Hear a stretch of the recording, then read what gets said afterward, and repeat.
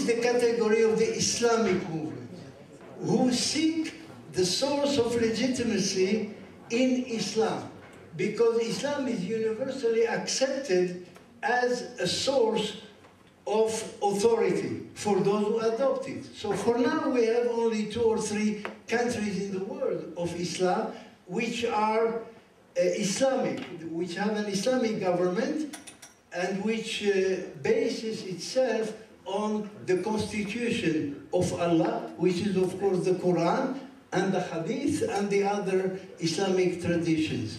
And those are uh, Iran for now, um, uh, Sudan to a great extent, and during the time of the Taliban in, uh, in Afghanistan, we had a three or four year experiment, which of course was uh, tottered by the Americans when they invaded Afghanistan in December uh, 19, uh, 2002.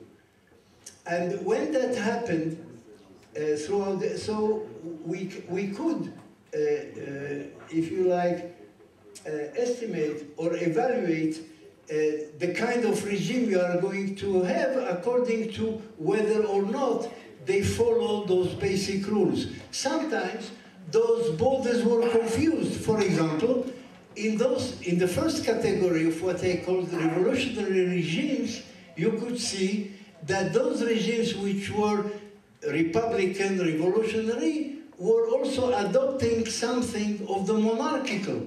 Because you see, in many of those regimes, the fathers, the, the actual ruler, appointed his son to follow him. So as a matter of fact, they created dynasties. That happened in Syria, and that what Mubarak wanted to do, and what was one of the triggers for his removal from power, and that is what the president of Yemen was trying to do until he, he is going to be removed uh, from power. And that's what Gaddafi in Libya wanted to do. In other words, you see that the conservative regimes, which were usually Muslim, are confused little by little or merging little by little with the, the category of the monarchy. And therefore you ask yourself, where is exactly the difference? And one, uh, uh, another principle that one has to keep in mind is the fact that the Islamic countries uh, or the Islamic uh, parties who want to establish an Islamic country are the only ones who may have legitimacy in the eyes of the masses.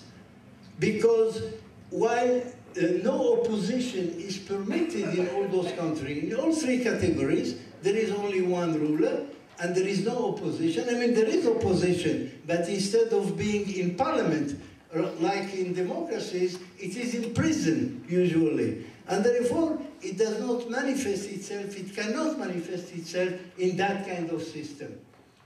Now, those uh, uh Islamic movements who are waiting in the aisles to see their government, which is illegitimate, uh, uh, to fall, in order to replace it are also the best organized parties in those countries. And therefore, every time a leader or a ruler of that sort falls or is about to fall, everybody talks about Muslim brothers taking over. Muslim brothers taking over, first of all, because they are more popular than others, and more popular not necessarily because their ideology is more attractive. They are more popular because while in the opposition, they operate very wisely and they establish a social system, social network, which, uh, uh, which uh, provides for the needs of the people that the governments usually do not provide. And therefore, that, that makes them very, very popular in the eyes of the people. An example, in the 90s, there was a major earthquake in Cairo. Uh, buildings collapsed because they were uh, badly built and so on and so forth. And the government was nowhere to, to be seen. Hundreds of people died, were crushed simply under the buildings and so on. The Muslim brothers were there. They set tables outside, they prepared hot food, they took kids into into the mosques or into private houses. They bring, brought in their doctors in order to extend uh, medical help that the government could not extend. And they took all these miserable people who had nowhere to go uh, under their wings. And therefore, what, what impression do the people get? They get, oh, the government is nowhere to be seen, but who takes care of us? Who, who bothers at all to think about our fate? We, the miserable people of the street. Only the Muslim brothers.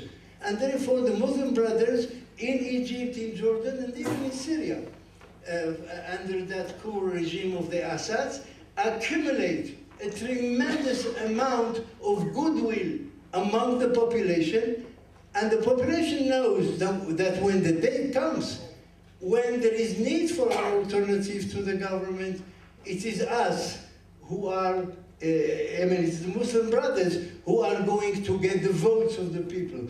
And that kind, that kind of uh, scenario is not imaginary, because it happened once. 1992, after 20 years of the FLN, that one, one of those revolutionary regimes in Algeria was ruling in, in that style, they declared suddenly that there will be free elections. And indeed they were, 1992. And who came on top? The Muslim Brothers. In every country they are called differently, but it doesn't matter. It's always the same thing. And when they came on top, the military junta uh, uh, walks in and said, ah, no, we want democracy, but provided you don't win. We, we want democracy that places us in government, not you. And the West and America made the biggest mistake that they unfortunately persist in today, which is to support the military junta instead of supporting the results or the consequences of the democracy they had been championing and advancing and advocating for decades before. So this movement say very simply, hey, what kind of hypocrisy is that? They support democracy, but provided it's democracy they want, what that's hypocrisy. And therefore, America is hated, Europe is hated, and rightly so from their point of view. They say we cannot count on that. So this is the big, the, the greatest dilemma. You want to consider good or bad, it's a matter of, uh, of, uh, of uh, your personal view, of course. But to my mind, this is the, the, the big dilemma that well, we in Israel we are going to face too. Do we support, as we did, Mubarak, perhaps we didn't have the choice, and he was our darling because he kept the peace for 30 years and so on and so forth, or are we going to support democracy as we say? Despite the fact that democracy means, or may mean, not necessarily, but it may mean the rise of Muslim brothers. The rise of Muslim brothers will mean necessarily, almost guaranteed, the first thing that they will do is to cancel the peace treaty with Israel. And we don't want to find ourselves in that situation again, of war in the Sinai and so on and so forth.